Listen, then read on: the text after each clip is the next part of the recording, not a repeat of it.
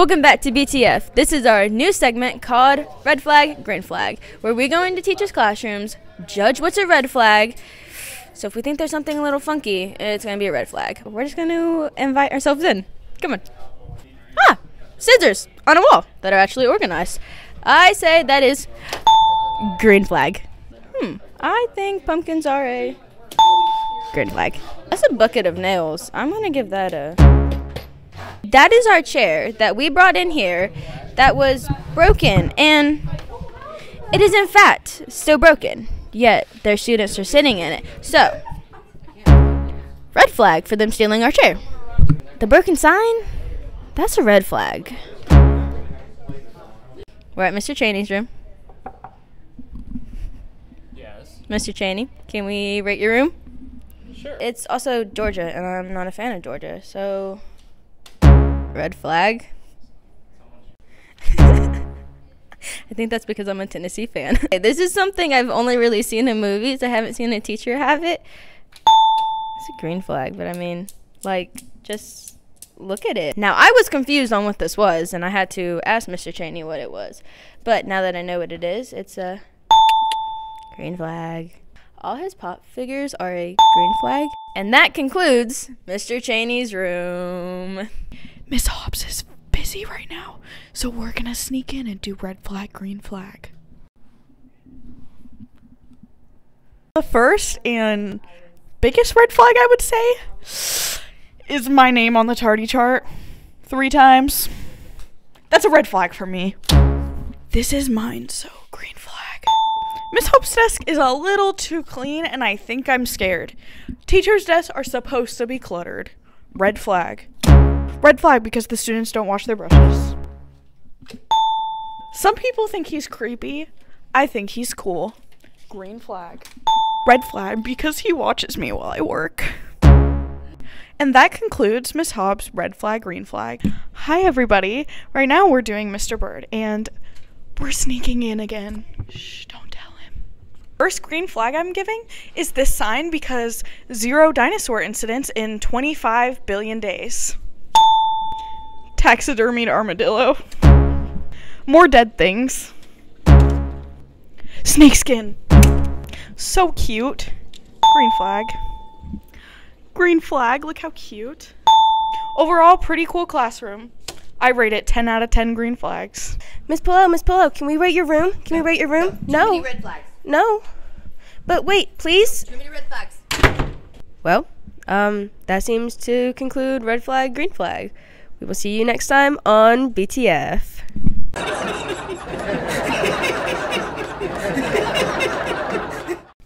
Welcome back to Dad Jokes. I'm your host, Zach Waddell. The objective is not to laugh. Lamb, would you like to get us started? Sure. So, yesterday, I ate an entire clock. It was very time consuming, especially when I went back for seconds. Bones? Do you know what they call James Bond when he's in the bathtub? Mm. Bubble 07. What do you call a laughing motorcycle? A Yamaha ha ha ha. My wife asked me the other day, how did I have so much candy? And I said, I always have a few Twix up my sleeve. Hey, do you guys know what ET is short for? He has small legs. Do y'all know why James Bond doesn't fart in his bed? Because it would blow his cover. How does cereal pay its bills? With checks. You're so funny. Went to a Chinese restaurant the other day. I ordered 2,000 pounds of Chinese soup. It was one ton. If you're American, when you go into the bathroom and when you come out, what are you while you're in the bathroom? European. Unfortunately, I hate my job. All I do is crush cans. It's so depressing. Hey, I heard a recent study the other day. They found out that diarrhea was hereditary. It runs in your genes. Chuckle from the crowd on that one. What are kidnappers' favorite shoes? White vans. What do ticks in the Eiffel Tower have in common? They're both parasites. You know what you call a fake noodle? An impasta.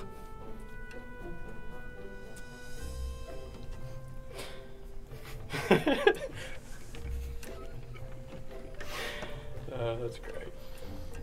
What do you call an American bee? A USB. The other day when I was visiting the prison, I noticed a large baguette in the cell. And I asked the jailer what that's all about. And he said, it's bread in captivity. Hey, do you guys know the difference between a good joke and a bad joke? Timing.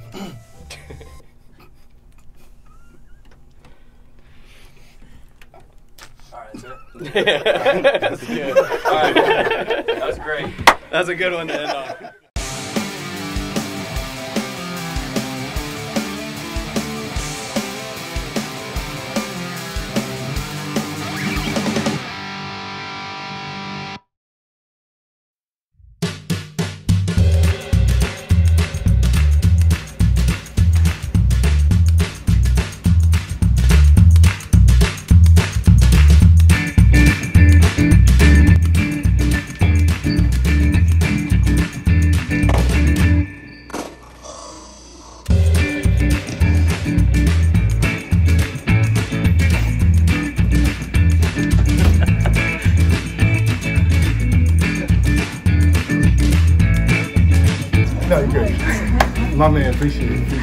They made me do it.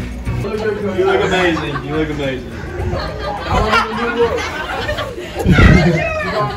Chuck, no, I do this for you guys. Nothing else. But for you guys.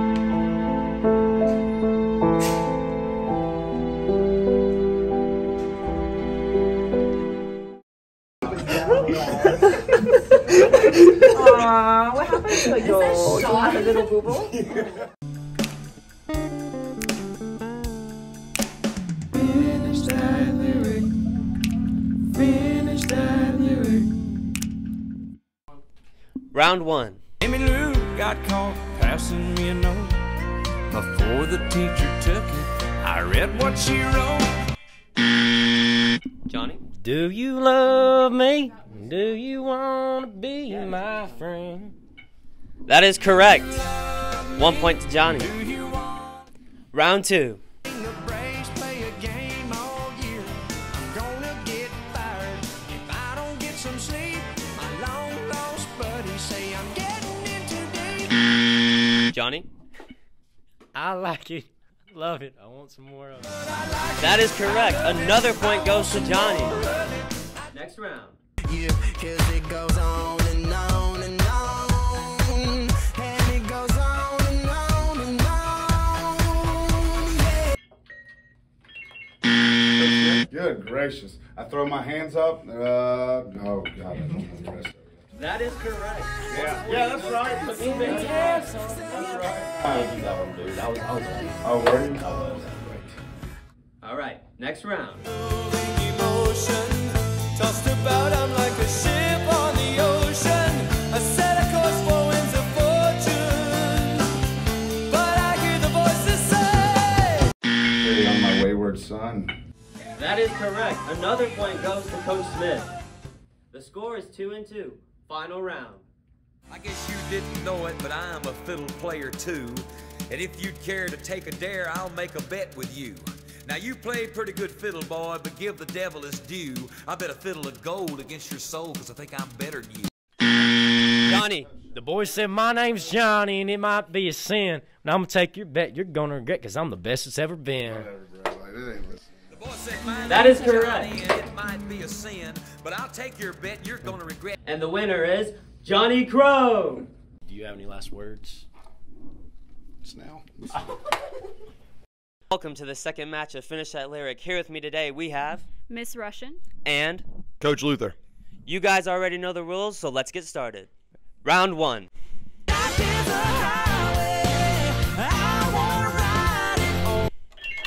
Coach Luther. All night long, if you're going my way. That is correct. One point goes to Coach Luther. Next round. Ain't no mountain high, ain't no valley low, ain't no river wide enough, baby. If you need me, call me. Coach Luther. No matter where you are, no matter how far, don't worry, baby. That is correct. Another point goes to Coach Luther. Next round.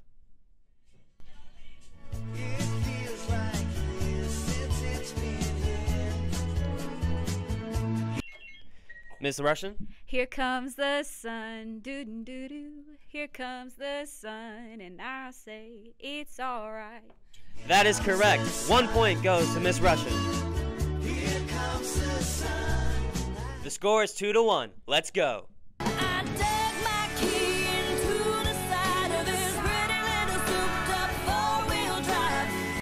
Miss Russian? Carved my name into his leather seats. I took a Louisville slugger to both headlights. Slash on all four tires. Yeah, all that. That is correct. Another point goes to Miss Russian. All right, you guys. The score is two to two. Next point wins. Go.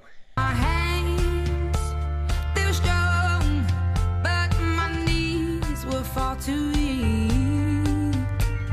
Miss Russian? To stand in your arms without falling to your feet. That is correct.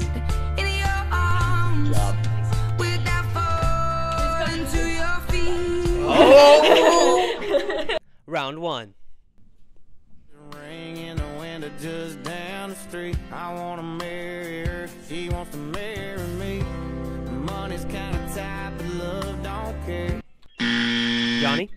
Me and this truck been everywhere. That is correct. One point goes to Johnny. Said what you wanna do, baby, I don't care. We can go to the show, we can stay right here. Johnny? And I could take you for a ride on my big green tractor. That is correct. Another point goes to Johnny. All right, you guys. Score is two to zero. This one could decide who wins it.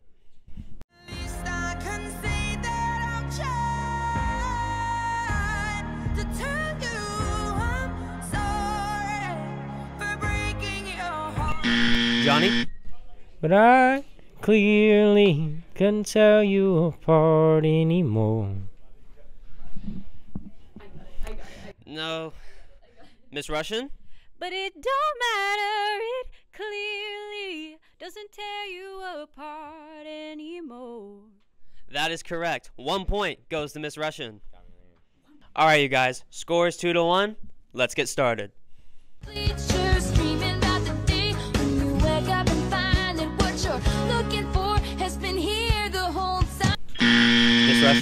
If you could see that I'm the one one who understands you. Been here all along, so why can't you? Yeah, there's more.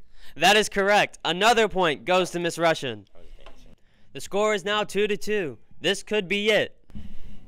and you feel like falling down, I'll carry you home tonight.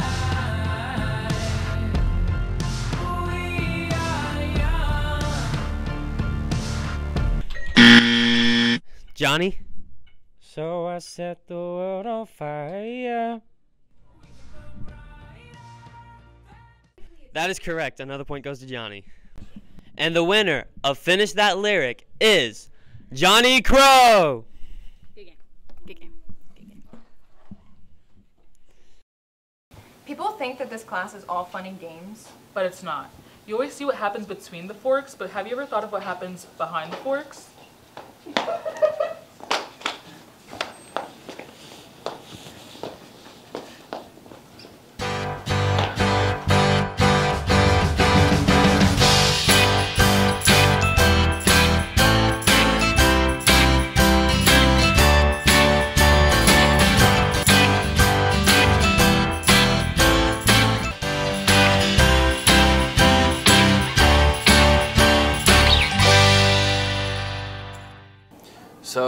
finally filmed dad jokes after the schedule being messed up so many times and after Bowman was really confusing me by saying no and then ignoring me and Lamb saying yes.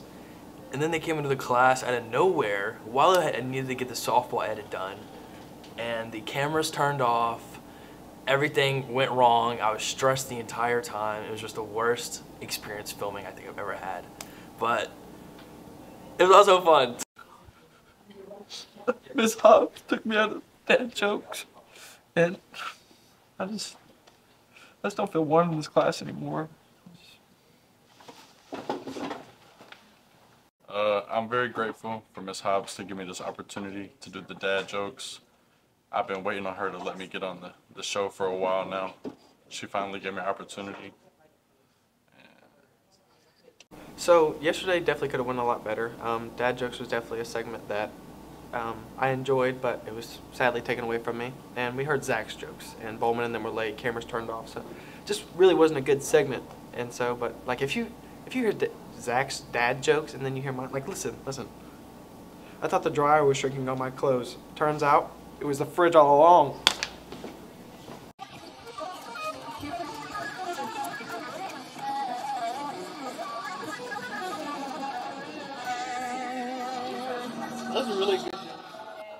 Took me forever. So, Michael Kane, I heard is a little broken. Um, so I'm checking it. Alright, so we have. We're thinking. I did not know how to turn on the boom mic, boom mic, so it doesn't matter. I can't. I can't. No, it's not that you didn't. It's not that you didn't know how to turn it on. You didn't know there was an on at all. I didn't. I didn't know. So how was I supposed to know? No one you told can't, me. You can't. No one told me. I would have heard If you No watch my video, if you watch I my know, video, you told me to watch the end. You told me to watch the end. And you didn't even sit through like two easy minutes. The way Abby's like. First thing, turn it on. It was, it was Okay.